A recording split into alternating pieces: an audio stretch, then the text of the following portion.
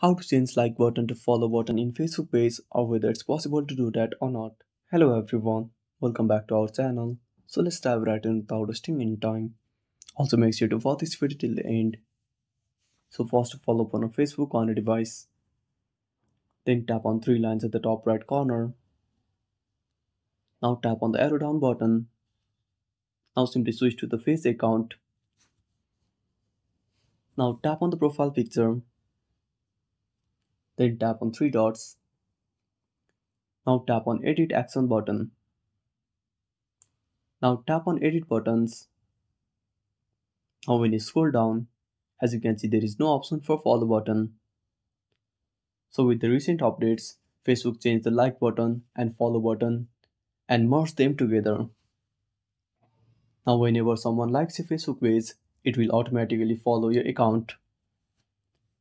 So that's it. Thanks for watching. Make sure to subscribe our channel and hit the bell icon. See you in the next video.